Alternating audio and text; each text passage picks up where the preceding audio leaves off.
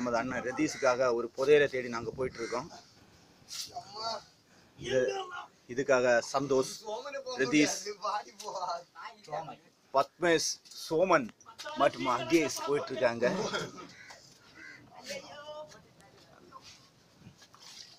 இது ரொம்ப ஆபத்தான பகுதி. இங்கே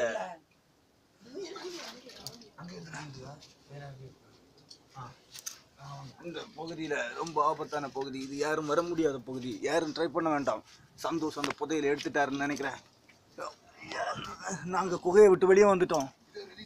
இதோ ரதீஷ் அண்ணனுக்காக அந்த புதையல் கிடச்சிட்டு எஸ் கண்டுபிடிச்சிட்டோம்.